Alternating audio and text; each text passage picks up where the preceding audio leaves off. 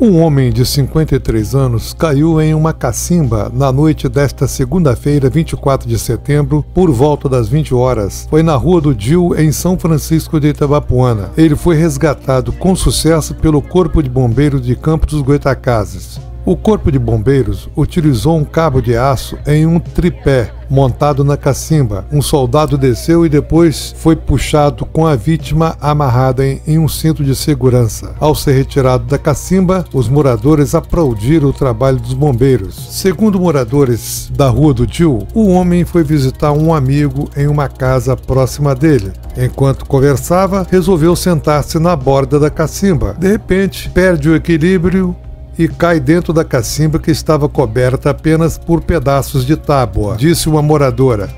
A cacimba tem cerca de 7 metros de profundidade e estava sem água, para a sorte de CGS, que caiu deitado de barriga para cima e permaneceu desacordado por cerca de duas horas até a chegada do socorro.